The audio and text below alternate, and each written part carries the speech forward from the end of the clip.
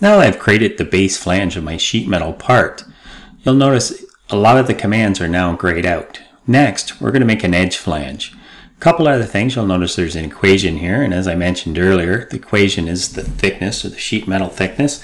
And we also have a cut list, just like we would in weldments, and this is now cut list for the sheet metal. So to make my edge flange, I'm going to do a couple of things. And I would like an edge flange on both of these edges. So I'm going to select that edge and I'm going to hold control and I'm going to come over here and select this edge.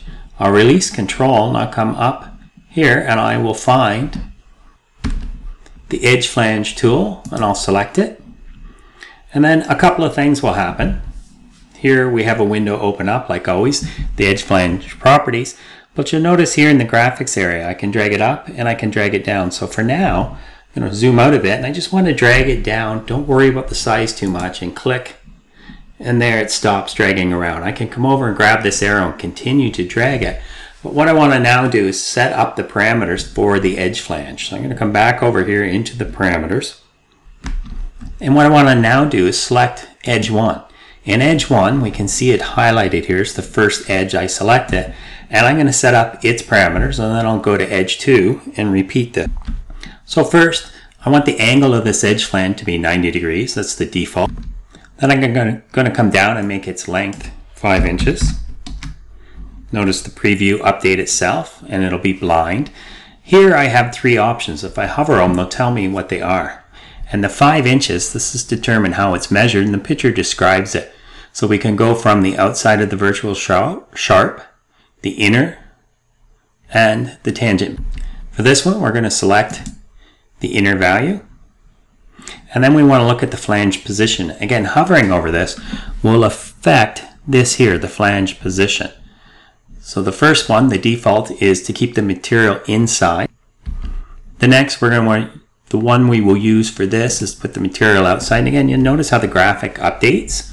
Or we can put the bend outside and we can add distance. So the bend doesn't start until it's past the current edge. Okay, and we can look at each options. These will be discussed in more detail later. For now, we're going to come back here and use this one. I'm going to turn on the checkbox for custom relief type and expand this. And I'm going to use a rectangular relief with the relief ratio of 0.5 or half the material thickness. Now that I've set up the parameters for this, I'm going to come back here with my edge one still selected. I'm going to edit the flange profile and now, I'll move this window away. We want to make sure that it always tells us the sketch is valid. And it's essentially converted this edge of the part. So I'm going to drag this in a bit. And I'm going to drag this side in a bit. Notice how the sketch went blue and is no longer fully defined. So at this point, I'm going to use my mouse gestures and I'm going to add some dimensions. So this will be 5. I'll accept that. The width of this will be 2. And I could try and add a relation to the center or I can dimension from the midpoint. I can also, I'm going to push escape and I'm going to add a center line. So I'll come here, center line. I'm going to look normal to the sketch. So I could go here to the middle, my origin of the part, and I could click and I could create a center line. I have lots of options here and then I could add, select this line, select the center line while I hold control, select this line, release control and I can make these symmetric or I could have dimensioned it one inch over.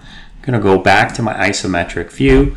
So I'm always paying attention to the sketch is valid and this is what I want now so I'm going to tell it to finish. And I've created my edge flange. If I want to edit this one as well, just like any SOLIDWORKS feature, I can select it, go back here and edit the feature, and this time I can choose Edge Flange 2, and I can edit the flange profile.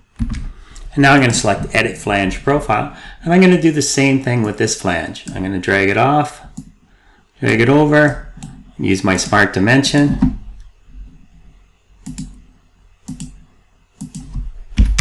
And I'll make this fully defined. I'm going to add my center line again.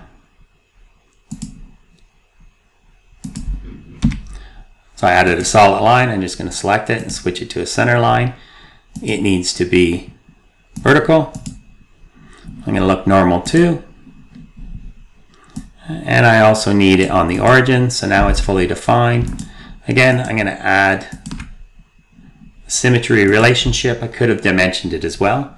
I'll go back to the isometric view. And I want to see why it's not fully defined. So this edge has moved. We'll fix that. This edge as well has come off and we'll fix that. So now it's fully defined. And I want to read up here because I may have made a mistake. So it says no sketch lines lie on the selected edge. So what I've accidentally done here, if I zoom in, and in this case my issue is I have deleted the line across here. So I'm going to use my mouse gestures and I'm going to add a line from here to here. And now my preview comes back, tells me my sketch is valid, and I'm going to finish it. And I've created my first two edge flange.